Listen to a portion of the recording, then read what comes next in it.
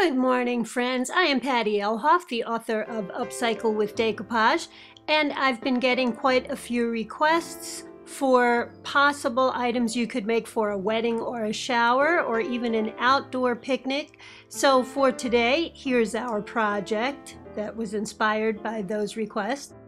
I took one of these plain vigil candles, that's what they're called, that you can get in the supermarket and turned it into this and I will show you how we can do this and I'll even give you a tip on how to prevent it from burning out.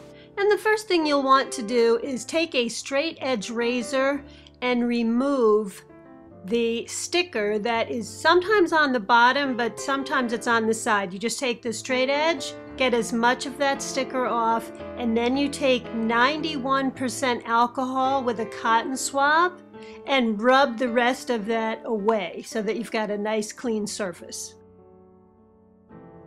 Now when I mentioned I had a tip so that this wouldn't burn out, this candle will not burn all the way down because enough oxygen doesn't get down in there. So what I do is I take one of these votives with the metal on it in the background there, you can see that, and I light it for a couple of hours. You want to make sure you're home when you're doing this.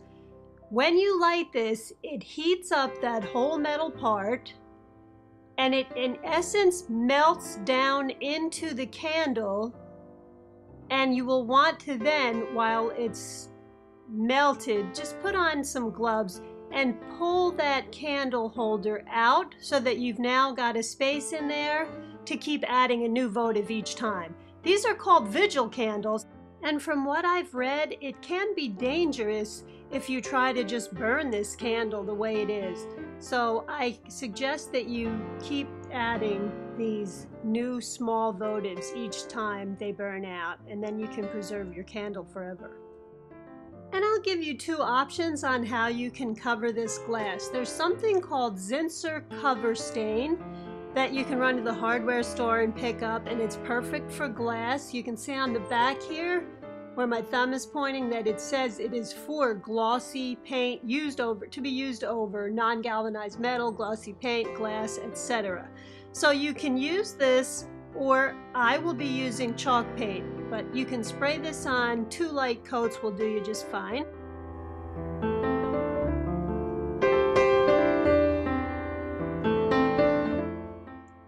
Since I used chalk paint on this, I applied my first coat using a roller. It dried really quickly. And then the second coat, I did, I used this brush that they recommend for furniture and did a light second coat over the whole piece. Now it's important to use napkins that have the same background color so that you don't see any lines when you're decoupaging. And rather than cut with the scissors, my flowers, the individual flowers out, I used a brush and I went all around the images and then I carefully tore away the images that I wanted. If you are using these for a wedding table or a shower table, you can use any images that fit your theme and any colors. You do just want to make sure that that background color of the napkin is white, just like your candle. So I, cut, I tore a bunch of these images out and put them aside, and I did not separate the layers of the napkin yet. I'm going to wait to do that until I'm ready to decoupage. Now I'm ready to decoupage, and if you dip your fingers in water and just flick the water off a little bit, it's a little bit easier to separate these layers of the napkins, and I'm going to separate all of the pieces that I need. And now I'm going to brush on a light amount of decoupage glue just where I'm going to place my image. And I'm going to place that separated image down and take a piece of saran wrap and pull this tightly around.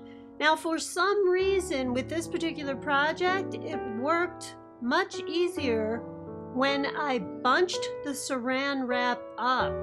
I placed the image down, I bunched the saran wrap, and then I pressed it down and there were no wrinkles and it came out much nicer that way.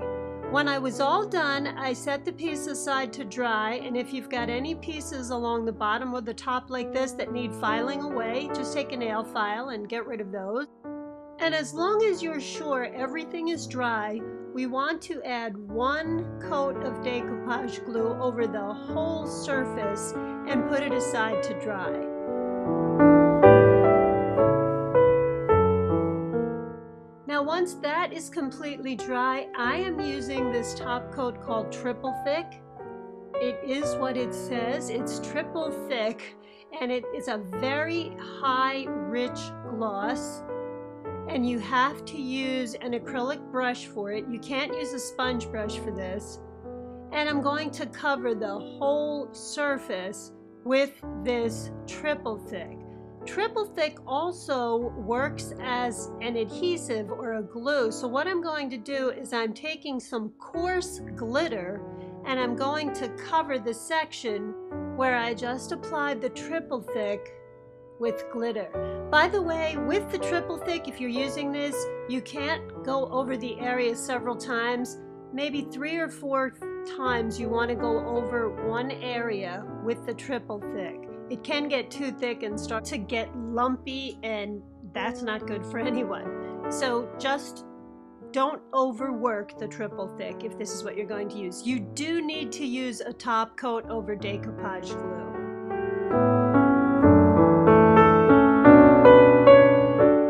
And here are two additional tips for the triple thick. This actually is a great tip for any glue or top coat that you're using. You should pour it out of the main container into a smaller disposable container. This way you will keep all of the dust and the debris that just floats around in the air from getting back into the container of your original product. Also with the triple thick, if you put a tiny amount of Vaseline or petroleum jelly around the rim, just a tiny bit, it will keep that lid from sticking on there. And here is our completed project for today. I thought I'd bring this outside and hopefully you can hear some of the birds like I'm hearing them. And you can see how this would look lovely in the middle of a floral centerpiece. Under drop lighting or halogen lighting, you can use these for showers, picnics. There's so many uses for them and you can see with that glitter on there how it really brings a nice element of sparkle and magic and romanticism to the project.